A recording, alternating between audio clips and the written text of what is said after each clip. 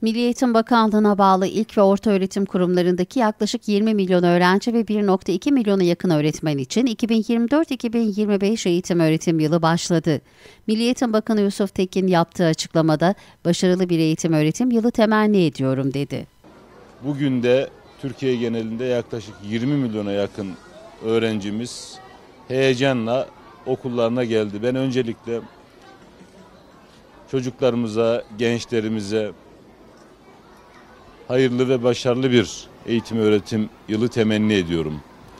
Aynı şekilde onları bize emanet eden velilerimize, ebeveynlerimize de başarı ve kolaylıklar temenni ediyorum.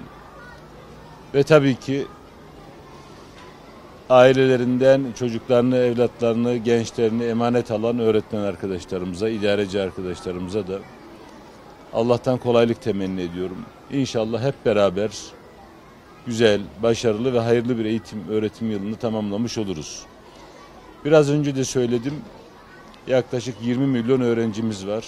Türkiye genelinde baktığımızda 750 binin üzerinde dersimiz var ve 1 milyon 250 binin üzerinde öğretmen arkadaşımızla eğitim öğretim yılına başlıyoruz. Kocaman bir aileyiz öyle düşünüyoruz öğretmen arkadaşlarımız, idareci arkadaşlarımız, öğrencilerimiz, velilerimiz, çocuklarımızın yakınları hepsini düşündüğümüzde aslında 86 milyon Türkiye Cumhuriyeti vatandaşı hep beraber eğitim öğretim süreçlerini yakından takip eden bir kocaman bir aile olarak bu heyecanı hep beraber yaşıyoruz. Tekrar çocuklarımıza, gençlerimize, öğretmenlerimize ebeveynlerimize, milletimize, ülkemize hayırlı uğurlu olmasını temenni ediyorum. Başarılı bir eğitim öğretim yılı temenni ediyorum.